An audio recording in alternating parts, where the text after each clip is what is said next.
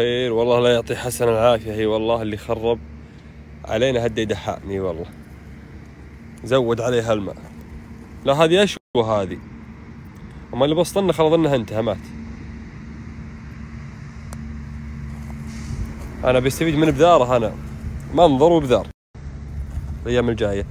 شوف سبحان الله الخزامة الطورات ارتعام بهن ارتاع نتفقنا نتنتف اللي بهذا. تعال تعال وجه المذنب تعال تعال. وش سويت بهذا؟ والله إنه منتهية هذا.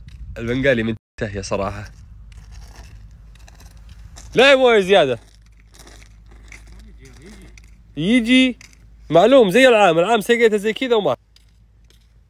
هذا ما في فل سمسم كذا شوي بس. ما شاء الله على هالمرمرية. روحت. أربع شتلات. شوفوا تبارك الرحمن. شوفوا غصنها ما شاء الله. شوف أما هذه لو تدرون إيش فوائدها لو تدرون إيش فوائدها غير كل واحد لقاها بحوش الشجرة هذه. يا لها فوائد الباطنية يا جماعة الخير. والله عن نفسي أنا مجرب. صراحة ورقها بس. اغسله. حطه بالشاي ولا حطه مي فاتر ولا حطه بالشرب اللي يجوز لك. انس انتفاخ آه مغص أوجاع البطن عامة غثيان بعد الله عن نفسي أنا مجربة. هذول نخليهم الحين على غصن واحد. عشان ترتفع أقل شيء ثلاث أمتار وعقب تفرع. أيوه بس.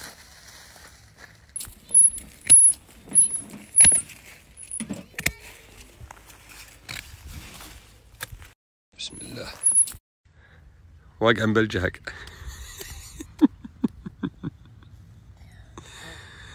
كل طيب. أيوه. مرحبا والله بالجميع. اليوم حنا عند الدكتور عبد المحسن الملحم. طلع طبعا غني عن التعريف. يعني أنا صورت الأسبوع اللي راح وجاء ثناء صراحة صراحة من الناس اللي ظهرت بالثناء. لك تبارك الله. يعني بمستوى المنطقة. أنا موعدنا اليوم لإجراء تصحيح النظر. النية اليوم موعدي. فتناقشت أنا والدكتور البارح القريب هذا. قال مرني. طبعا عقب ما تابعني بالسناب. مرني وراح نتكلم ونشوف الوقت المناسب لك لأن أنا صراحة اظنك انت استغربت من طلعاتي روحاتي وجياتي. فقال الوقت هذا ما يناسبك أنت لأن بحكم الأمطار والروحات والجيات والتنقلات فالتصحيح النظري من خمس أيام إلى شهر على حسب الحالة. ولا لا يا دكتور؟ صحيح. حياك الله أخوي طراد أمسي عليك وعلى المتابعين والمتابعات بخير.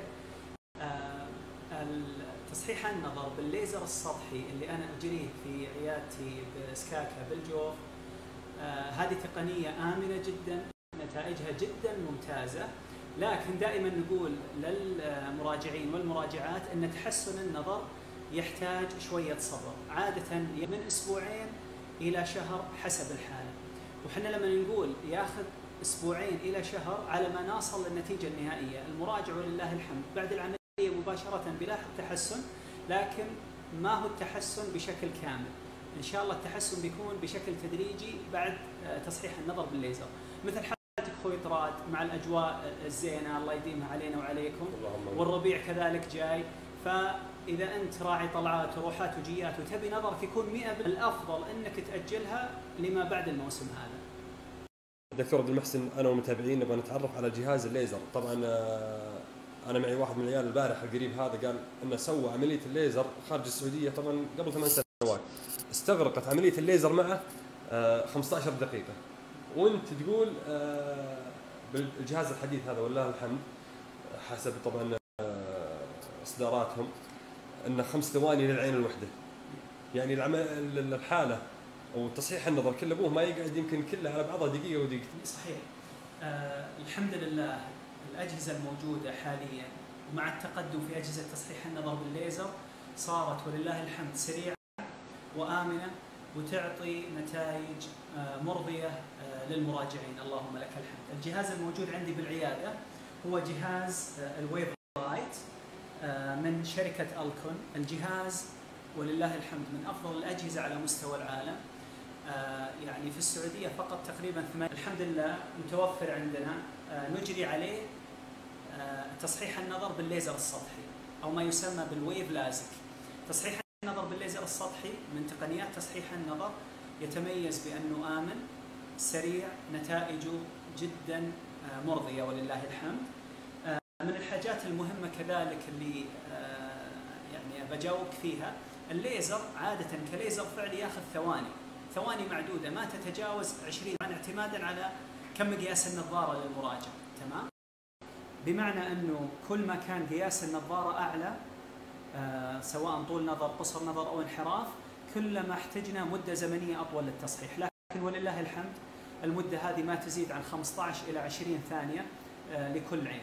مثل ما تشوفون الجهاز ال WaveLight آه، وأجهزة الليزر بشكل عام ما هي أجهزة مغطاة بالكامل أجهزة مفتوحة بس المريض يستلقي على الجهاز بعد تعقيم العين إجراءات تجري عملية التصحيح البيانات اللي يعني تكون مدروسة على بصمة عين المراجع عشان تعطينا أفضل نتائج بعد العملية.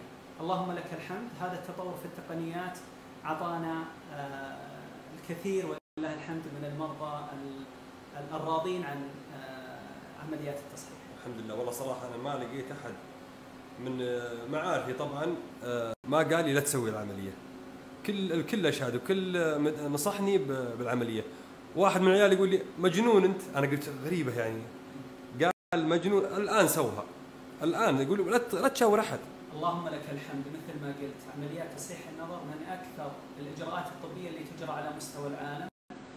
نادر نادر حدوث احتمالية حدوث مضاعفات، نعم ممكن تصير المضاعفات من أي إجراء طبي ولكن إحنا نقول للمراجعين والمراجعات قاعدة عامة انه إذا الفحوصات سليمة وتناسب فائدتها ولله الحمد أعلى بكثير من مخاطرها، فاللي له رغبة بالتصحيح شاور طبيبك المتخصص بعمليات تصحيح النظر وعنده شهادة متخصصة في هذا المجال، إذا العملية تناسبك استخر وبعدها اتكل على الله وإن شاء الله بتكون مبسوط من النتيجة. تصحيح النظر، طبعا الواحد مجرد ما يقول عملية راح ينخرع، هل في جراحة؟ هل في آلام؟ في وجع بالعيون؟ في مضاعفات؟ العملية يعني شكل اسم عملية يخرع لحاله. يعني إذا بنتكلم بشكل عام تصحيح النظر بالليزر من أكثر وأسهل الإجراءات الطبية اللي ممكن يعملها الشخص. الإجراء نفسه خاصة الليزر في قطع بالقرنية ما في شفط للقرنية مثل التقنيات الأخرى الفمتو ليزك والفمتو سمايل خلال العملية معظم المرضى ما يشعرون بألم. ممكن يحسون بعدم ارتياح بالعين إحساس ضغط على العين موية تصب على العين. و99% من المراجعين يتحملون هذا الإحساس. يعني العين بالكلام بالعملية ما تلمس العين. الشغل كله شغل جهاز وطبيب على على جهازه ابدا. نلمسها بإجراءات بسيطة بس ما تكون في ما يكون جديد. ما في لمس. ما في ما في لمس بآلات حادة اوبر وخلافة. ابدا ما في. طبعا من الأمور المهمة اللي يسألون عنها المراجعين طيب دكتور أنا لو تحركت لو تحركت العين الأجهزة هذه ولله الحمد مجهزة بأجهزة تعقب. تمام؟ تتابع حركة العين. وتتحرك مع العين إلى حد معين، إذا العين تحركت بشكل كبير يوقف الجهاز عن يعني هي خمس ثواني. وهي ثواني معدودة مثل ما قلنا، لكن بعض المرضى أحيانا يتحرك فالجهاز يوقف، فاللي يقول لك مثلا الجهاز بيضرب مكان غلط أو بيعطيك نتائج ما هي كويسة، هذا الكلام غير صحيح.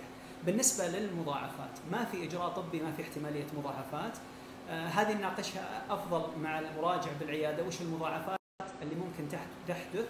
لكن ولله الحمد نادرة. آه فيما يخص آه الرسالة الهامة اللي نوصلها للمراجعين أهم رسالة نقولها للمراجعين والمراجعات اللي يرغبون بتصحيح النظر هو زيارة الطبيب أو هي زيارة الطبيب المتخصص بعمليات تصحيح النظر عشان يتأكد من مناسبة العملية لكم عن طريق الفحوصات. إذا الفحوصات كلها سليمة فحص العين سليم ما في أي مانع من موانع تصحيح النظر اتكلوا على الله الإجراء بسيط وبإذن الله تتحررون من النظارات للأبد إن شاء الله. دكتور عبد المحسن في سؤال. ترى دائما يتساءلون عن الناس يقول ليش طبيب العيون دائما يلبس نظارات وما يسوي تصحيح النظر؟ طيب هذا سؤال يتردد على الزملاء اللي يلبسون النظارات. من اطباء آه، العيون خاصة بعض الزملاء المتخصصين تصحيح النظر. آه، لكن أنا بعطيكم معلومة أنا سويت تصحيح النظر قبل 16 سنة بالليزر السطحي. ف. يعني ما ما هي قاعدة ثابتة. أتمتع بنظر جيد وأعرف الكثير من الزملاء اللي أجروها. في دراسة آه، على اطباء الليزك في أمريكا، أطباء تصحيح النظر بامريكا، تبين إن أكثر من 60% منهم اجروا عمليات تصحيح النظر. بالنهاية حنا نقول للمراجعين إذا أنتم مرتاحين مع النظارة ولا تبون تتخلصون منها، النظارة هي أكثر شيء آمن ل آه، كمساعد بصري عشان تشوفون كويس. هذا لا يعني إن عملية تصحيح غير آمنة، هي هي, هي اختيار شخصي. اللي خاف آه، إحنا نقول إنه آه، لا ننسى كذلك إنه في موانع لتصحيح النظر أصلا أخوي طراد يعني ممكن الزميل اللي ما أجرى تصحيح النظر. عنده مثلا شيء يمنع من إجراء تصحيح النظر. العمر عنده مثلا قرنية مخروطية. آه، فموانع تصحيح النظر كثيرة. لكن هذه القاعدة ما يصلح نعممها لأني أعرف الكثير والكثير من الزملاء اطباء عيون وغيرهم أجروا تصحيح النظر ومبسوطين من النتيجة. هذا اللي نبي نوصل له إحنا. وأنت ما شاء الله 16 سنة تقول مسوي تصحيح النظر. أنا مسوي وكانت آه، قياسات النظارة عندي ناقص ستة. الحمد لله متحرر من النظارة. ولما نقول قبل 16 سنة آه، على التقنيات القديمة كانت ممتازة وأعطت نتائج جدا كويسة. ما بالك الآن مع الأجيال الجديدة من أجهزة تصحيح النظر؟ ف ال- اللي نقوله ونبي نوصله أن الإجراء إن شاء الله آمن. إذا فحوصاتك سليمة أتكل على الله دكتور تسمح لنا طبعا كثرناها عليك. لكن إحنا أنا أبي أفيد نفسي وأفيد المتابعين. الله يبارك فيك. يبارك بك إن شاء الله. يقول إن عملية تصحيح النظر بعد عشر سنوات راح تلبس النظارة. آه، طيب. آه، أو ترجع تلبس النظارة. ال- الدارج عند الناس إنه مفعول تصحيح النظر آه، يختفي مع الوقت فيرجع الشخص يلبس نظارة من جديد. هذه الحالة نسميها الانتكاس وهي علميا ولله الحمد. نادرة جدا. تصير عند حوالي 5% إلى 10% من المراجعين ولها عوامل إصابة. لكن ولله الحمد بالتقنيات الحديثة خاصة مع تقنية الليزر السطحي احتماليتها نادرة جدا لكن إحنا نقول للمراجع فرضا تبي تصير لك بعد عشر سنوات لا سمح الله أنت بتكون مستمتع بنظر ممتاز نعم. لمدة عشر سنوات أنا قدامكم سويتها من 16 سنة عندي أقارب كثيرين سووها من أهلاً. حولكم كمتابعين ومتابعات ناس كثيرين سووها وأمورهم كلها تمام بل تلقى بالعائلة الواحده مجموعة رايحين لطبيب واحد ومسوين العملية بنفس اليوم. في ناس منهم تكسوا ورجعوا يلبسوا نظارات وفي ناس امورها تمام فما هي ال- زي ما تقولون الحاجة اللي تمنعنا نتكل على الله ونجري تصحيح النظر إحنا كثرناها عليك يا دكتور لكن عاد آه، نستفيد من خبرتك. النظارة الشمسية بعد عمليات الليزر يقول انها راح تستمر وانت لابسها صحيح الكلام أو لا؟ بالنسبة الشمسية بعد تصحيح النظر. طبعا قاعدة عامة. إحنا نقول للمراجعين سواء اجريت تصحيح نظر ولا ما اجريت تصحيح نظر النظارات الشمسية مهمة جدا آه، لصحة العينين لأنها تمنع آه، الكثير من المشاكل. تمنع جفاف العين تمنع آه، سلمك الله التنكس الوقعي بالشبكية تمنع حدوث لحميات على سطح العين. برضو تمنع إلى درجة أو تبطئ حصول أو تكون وتزيد أهميتها بعد تصحيح النظر بالليزر السطحي خاصة أول شهر إلى شهرين بعد تصحيح النظر. إذا جينا نطلع بالشمس بعد تصحيح ولمدة شهرين لابد نلبس النظارات الواقية عشان نحمي العين من تكون غشاوة أو عتام على القرنية وهذه إحدى المضاعفات النادرة بعد تصحيح النظر بالليزر السطحي. فمهم جدا نحرص على لبس النظارات فقط بالشمس ما يحتاج نلبسها داخل آه، البيت ما يحتاج. أو بالليل. ولا بالليل فقط تحت أشعة الشمس بشكل مباشر. طيب دكتور عبد المحسن السؤال الأخير هل التصحيح يناسب الجميع؟ يعني ال- الحالات جميع الحالات ولا حالات معينة؟ جميل جدا. آه، إجراء تصحيح النظر هو إجراء طبي ما يناسب الجميع. آه، في فئات أو هناك خلونا نقول موانع لتصحيح النظر.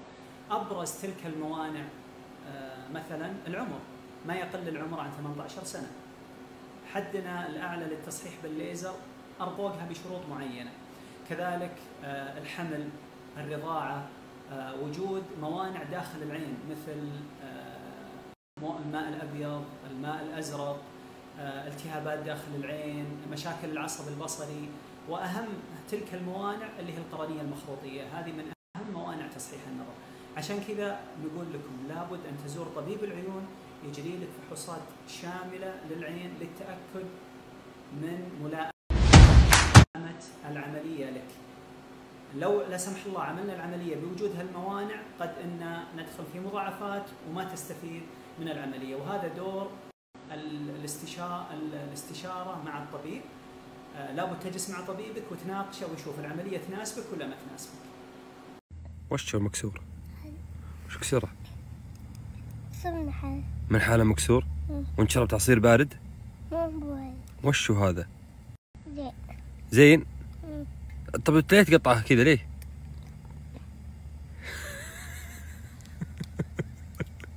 شوفرني ليه سويت هاللون ليه؟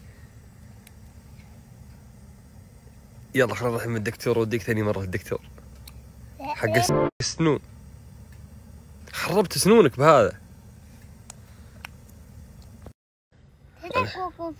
أنا بوقفها أنا بس أنت إذا وقفتها تروح معي للنياق إذا ما وقفتها ما تروح. ها. ما تروح. يلا خمس مرات. ما هو فوق عاد أنت إيش بلاك؟ بدك توقفها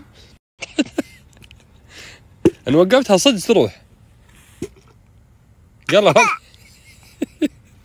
هوب ويسي ما شاء الله.